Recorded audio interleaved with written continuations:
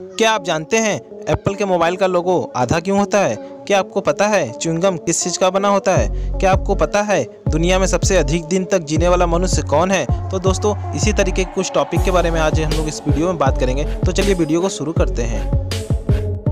क्या आप जानते हैं टीवीएस का पूरा नाम क्या है? दोस्तों, हम लोग अपने आसपास टीवीएस कंपनी की बाइक ज़रूर देखी होगी, पर क्या आप जानते हैं कि टीवीएस का पूरा नाम क्या है? दोस्तों, आपके जानकारी के अनुसार मैं बता दूँ टीवीएस का पूरा नाम थिरुकुरुंगड़ी वेंगाराम सुंदरम है। जी हाँ दोस्तों, ये भी एक फैक्ट है जो कि बहुत ही कम लोग जानते हैं। क्या आप जानते हैं उत्तर प्रदेश का प्रथम मुख्यमंत्री कौन था? दोस्तों प्रेजेंट टाइम के मुख्यमंत्री योगी आदित्यनाथ हैं, ये तो सभी लोग जानते हैं। पर क्या आप जानते हैं कि उत्तर प्रदेश का प्रथम मुख्यमंत्री कौन था? दोस्तों, आपके जानकारी के अनुसार मैं बता दूँ, उत्तर प्रदेश के प्रथम मुख्यमंत्री गोविंद वल्लभ पंत जी थे। जी हाँ दोस्तों, और तो और, उत्तर प्रदेश में सबसे अधिक बार मुख्यमंत्री पे कार्य करते हुए मायावती जी रही हैं। ये भी एक फैक्ट है, जो कि बहुत ही कम लोग जानते हैं।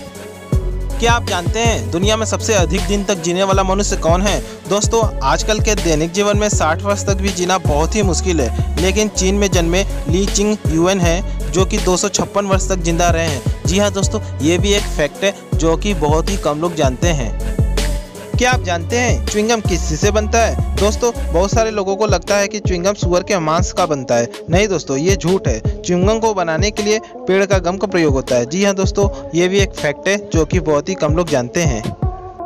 क्या आप जानते हैं, एप्पल के मोबाइल में एप्पल का लोगो आधा क्यों है? दोस्तों एप्पल के सीईओ स्टीव जॉब्स हैं और एप्पल के लोगों का डिज़ाइन रॉब जेनॉफ ने डिज़ाइन किया है। जब इसका पूरा एप्पल डिज़ाइन हुआ तो लोग इसे संतरा न समझ ले, इसलिए इसे आधा डिज़ाइन किया गया, जिससे कि लोग इसे एप्पल ही समझे। जी हाँ दोस्तों, ये भी एक फैक्ट है जो कि बहुत ही कम लोग जानते हैं। दोस्तों, आशा करता हूँ सभी वीडियो आप लोगों को पसंद आया होगा। अगर पसंद आया हो तो प्लीज़ वीडियो को लाइक करिएगा चैनल को सब्सक्राइब करिएगा और अपने सभी दोस्तों के साथ शेयर ज़रूर करिएगा। धन्यवाद दोस्तों।